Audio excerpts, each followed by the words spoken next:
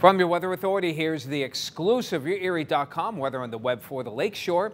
We're looking at some windy conditions, still on the mild side, some showers at times.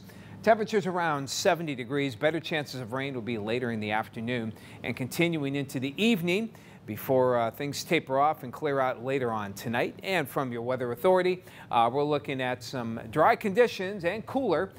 Upper 40s for tomorrow and in the upper 30s to lower 40s for the weekend.